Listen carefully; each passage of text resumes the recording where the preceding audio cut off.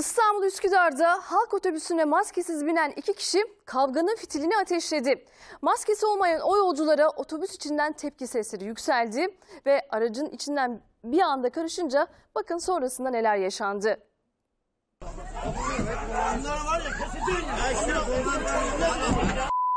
Tekme ve yumrukların havada uçuştuğu yer bir boks ringi değil, halk otobüsü. Sebebi ise maske tak tartışması. Maskesiz biniyor, maskesiz. Her şey içi yolcu dolu halk otobüsüne iki kişinin maskesiz binmesiyle başladı. Diğer yolcuların maske tak uyarısı önce tartışmaya sonra da tekmeli yumruklu kavgaya dönüştü.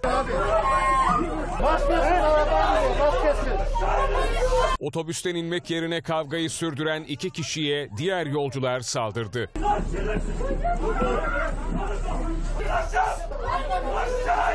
Otobüste kavga sesleri dışarıda ise panik çığlıkları yükseldi.